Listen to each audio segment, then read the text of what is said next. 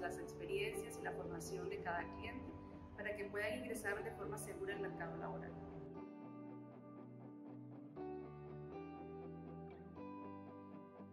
Al ver profesionales que, que tienen grandes competencias, experiencia y buena formación, eh, ellos no pueden transmitir ese valor a través del currículum, perfil de LinkedIn o a través de la entrevista. De ahí nace la idea de poder identificar las fortalezas de cada uno de ellos y poder ayudarles a transmitir su valor.